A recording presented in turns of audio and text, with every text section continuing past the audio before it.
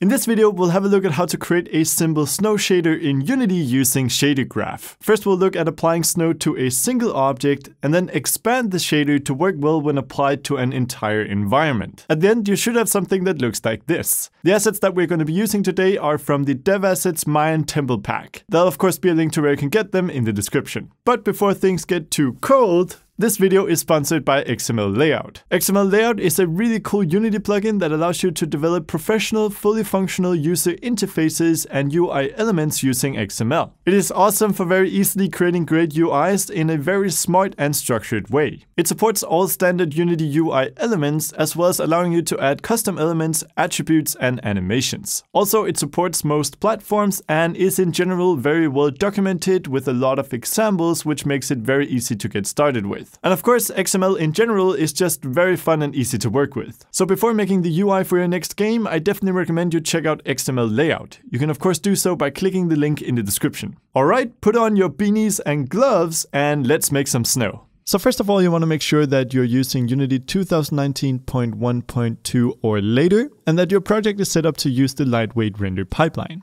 However, this effect should also work for HDRP. So as you can see, I have a very simple scene here with a skull pile object that is currently just using a default lit shader. Let's go ahead and change that by creating our own. So let's go to the project, hit create, let's go shader, let's go to PBR graph and let's create a snow shader. Let's double click on the shader to open it up in shader graph.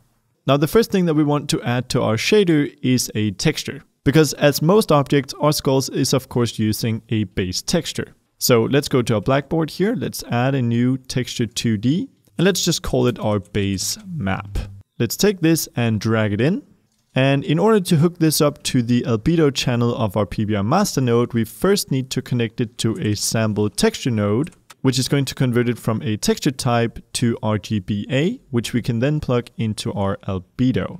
As you can see, not much happens in our preview. That's because we still need to choose a texture. In fact, let's go ahead and change from this default sphere here to a custom mesh. And I'm just going to search for our skull pile here. This way we can see what everything looks like from within Shader Graph. Pretty cool. So now I'm going to go over here and choose a texture. And our skull pile is part of a larger texture atlas, but it is there even though it looks a bit confusing. So I'm going to select that one. And as you can see, our skulls now look much nicer. I'm also just going to set the smoothness to zero. And that's pretty much it for our base setup. I of course encourage you to add properties for metallic, smoothness, normal maps, and so on to fit your needs. But for now, this should be fine. So to create our snow effect, we first need to understand what a normal vector is. A normal vector is a vector that is perpendicular to the tangent plane of the surface at a certain point. Now this might sound really scary, but it basically just means that it's a vector that points away from the surface. So say we have a sphere where we only want to apply snow to the top. Well, this sphere has a bunch of normal vectors that all point away from the model that we can use. To do this, we first define a snow direction. This is a vector that points in the direction we want our snow to come from. In this case, it's just pointing straight up. We can then use the dot product between the direction and the normal vector to figure out how much snow we should place on different parts of the object. Take for example the normal vector at the top of the model. This is parallel with the direction vector, and because the dot product of two parallel vectors is 1, we know that we should place lots of snow here. In the case of the normal vector to the right, however, this is perpendicular to the direction vector, and because the dot product of two perpendicular vectors is zero, we know that we shouldn't place any snow here. In fact, all the normal vectors in between these two are going to give us values between 0 and 1 based on how close they are to the direction vector, which is exactly what we need. Now it's time to create some snow. So let's go ahead and create a normal vector node. Again, this is going to get the normal vectors, which we can then dot together. So we'll add it into a dot product node with the direction of our snow. In my case, I just want it to fall from the top, as snow normally does. So I'm going to go ahead and create a vector 3 over here in our blackboard. I'm going to call it snow direction. And I'm just going to default the y here to 1. I'm going to drag it in and plug that into our dot product node. We then want to make sure that we are clamping our dot product so that it doesn't go below 0 or above 1. So let's drag that into a clamp node. here to go between 0 and 1. And now this should make sure that our snow will only fall from the top. However, we of course still need to create our snow. So let's just move this down. And for a nice and simple snow effect, let's use the simple noise node. As you can see, this creates a bunch of tiny grains, which I think definitely looks like snow. I'm just going to set this to a 100 for now on this scale. And I'm also going to plug it into a remap node. And this is just going to allow me to change this from going from 0 to 1 to go from something like 0.5 to 1. Just so that our snow doesn't get as dark as the default simple noise. I think this looks quite a bit like snow. And from here we can simply multiply it together with the result of our dot product calculation here and this should give us our snow layer, which we can simply add on top of our default texture. So if we just go ahead and move all this stuff over and do the same thing here, we can simply drag down here into an add node and take the output of our snow and plug that in as well. And then take the result of that into the albedo channel. And voila!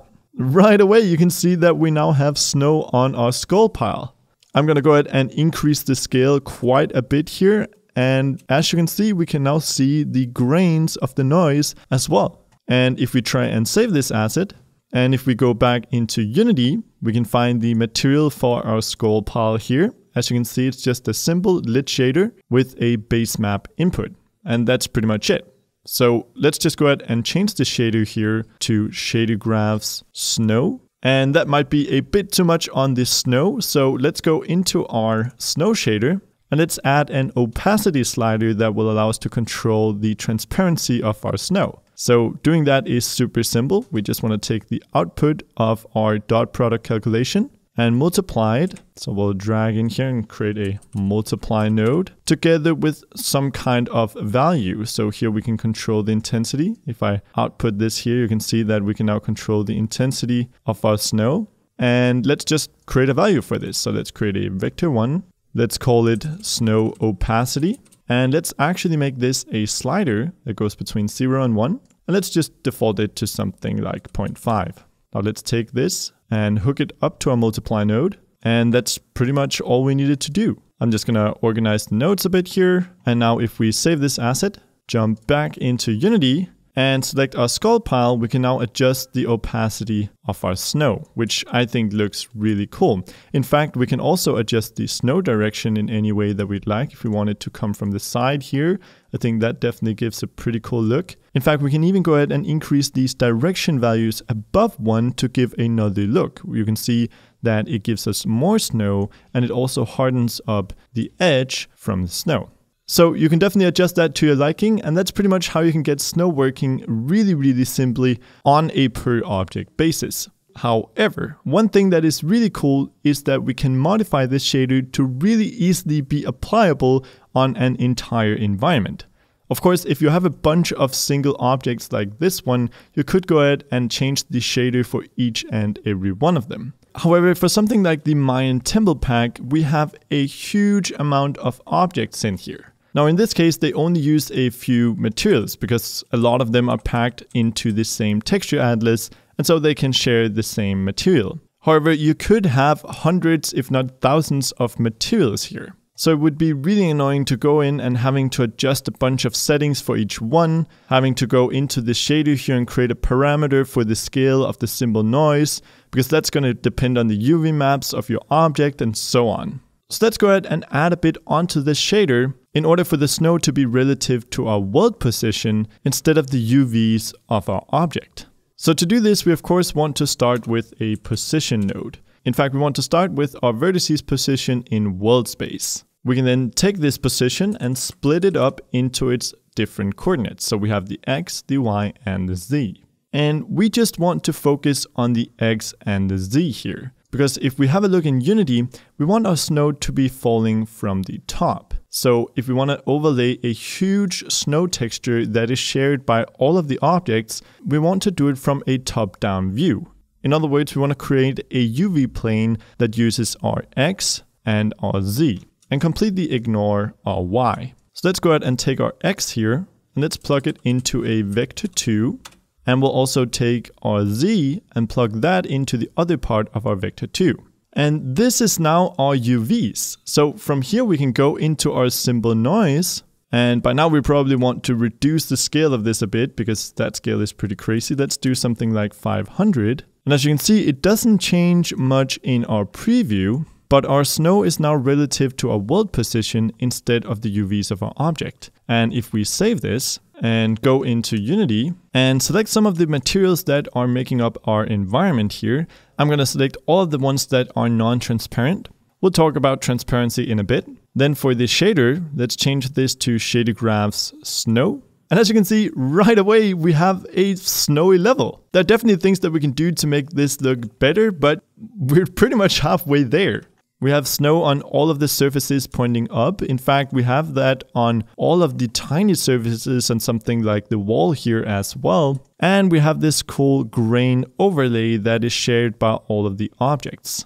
So I think overall that is looking pretty great already. You can adjust stuff like the opacity or the snow direction, but I'm actually pretty happy with it as is. However, one thing that is a bit unrealistic with the way that our snow is set up right now is the fact that everything is covered equally in the snow. And that doesn't really happen. Snow gets thrown around by wind, and just as a rule of thumb, whenever you're working with something organic that nature has created, the eye expects to see some variance. So let's go ahead and make sure that our snow isn't distributed completely equally. In fact, we can do this really easily by going into our snow shader. And instead of just overlaying a simple noise, let's go ahead and create another noise function here. We'll use a gradient noise. And this one we want to scale down quite a lot. I'm going to scale it down to something like 0.5.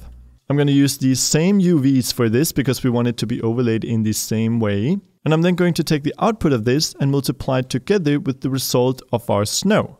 So instead of just going directly down to a multiply node here, let's go ahead and move this thing out a bit. Let's plug this into a multiply node and multiply that together with the result of our simple noise and then take the result of that into our multiply node down here and what this should do, this won't really be visible in the preview, but what this should do, if we save this asset and go into Unity, is based on this gradient noise create areas that are more snowy than others. And I think right away that gives a much more realistic look. I think this effect is a bit too exaggerated at the moment, and you can definitely try and play around with the scale of the gradient noise to make this more refined. But if we just go ahead and plug this right through a remap node, just in order to control how much of an impact this effect has. So let's change it from going from 0 to 1 to go to something like 0.3 to 1 and plug that into our multiply and maybe change the scale to something like 0.3. If we then save that asset and go back into Unity, I think we have a really nice looking organic snow effect. Super, super cool. One thing that I also want to do is make sure that if we go ahead and change our snow direction here, say we make it come kind of from the side, that completely vertical faces aren't affected. We still want to be able to kind of control the direction of our snow, but because of the way that we've set up our snow, this doesn't look very good. In fact, that's created so that the more angle a surface has, the less it's affected by snow. That should give a fairly realistic look. So to do this, let's just head back into Shader Graph and now with our new knowledge of the dot product, you can in fact just go from the normal vector into a dot product. And we want to dot this with a vector going straight up, so 0, 1, 0. And we can just use that to multiply together with our snow. So let's just go ahead and multiply that. I'm just going to collapse these with the output of our snow and take the result of that and multiply it with our other dot product here. And that should now result, if we save this asset, in an effect where the more of an angle the surface has, the less it's affected by snow. And as you can see, the vertical faces here are completely unaffected. Really, really cool. Now I'm just going to go in here and set the snow direction back. In this case, I just want it to come from the top, but now this should be safe and look pretty good no matter what you want to do with the snow direction. And that's pretty much it for this effect. Here's the graph in its entirety. Again, I definitely encourage you to add stuff for normal maps, metallicness, smoothness, and all that stuff. And of course, one thing that this shader currently doesn't support is transparent surfaces. But if you want to create a variant on the shader that supports that, all we need to do is simply duplicate it, call this one snow transparent, double click it, and in our PBR master node, we want to change the surface type to transparent. And we can then simply take the alpha of our sample texture node and plug that into the alpha of our PBR master. If we save that, go into Unity and select this material here. This is for the trees and all the different kinds of foliage that are using transparent surfaces. We then change this over to our shader graph snow transparent. For the base map here, I'm going to change to the correct one. And as you can see, we now have snow on the leaves of the tree here and transparency is working just fine. So it's actually that easy. Really cool. Of course, I also encourage you to change around some settings for your environment in order to make it look more snow-like. In my case here, I'm going to go to the main camera and make the background brighter. That definitely seems more like a snow landscape. I'm also going to go to lighting and just bump up the ambient intensity. And there are of course a million different tricks like this that you can do to make your environment feel more like a winter scene. But I think for just a single shader, this is a really cool and easy to use effect. And I really like the fact that we now just have a slider for no snow and lots of snow. Yay! That's pretty much it for this video. If you enjoyed it, make sure to subscribe and ring that notification bell so you don't miss the next one. Also, don't forget to check out XML layout before creating your next UI. Simply get started by clicking the link in the description. On that, thanks for watching and I will see you in the next video. Also, special thank- Hey, do you want to do it? Yeah, you should do it. Alright. Thanks to all of the patron supporters who donated in April, and a special thanks to Infinity PBR, Cyborg Mami, Dennis Sullivan, Chris, Shane Cleveland, Fa Faisal, Faisal, Faisal, Faisal Marify, Lincoln Chung, Leo Lisette, Runen, Daniel Dusanik, Konstantinas Karentas, Naoki Iwasaki, Gregory Pierce, Rob Fern, Dr. Poonmoon, Erasmus, Kirill Svidersky, Tim Avholterbach, and Tyson Konofsky. You guys, no, you know what? I, I can't, I'm not authorized for that. You have to do that. You guys rock.